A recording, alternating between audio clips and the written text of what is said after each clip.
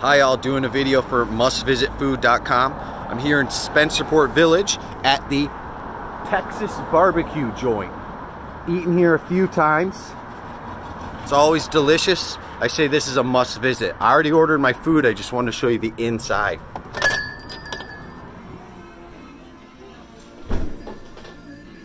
So here's the inside of the restaurant. Pretty nice, feels like a barbecue joint. Got all your sides over here. What I love about this place is I come here and I get free soup.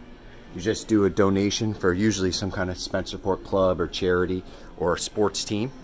So if you want to come to a good place, come to Spencerport. Must visit.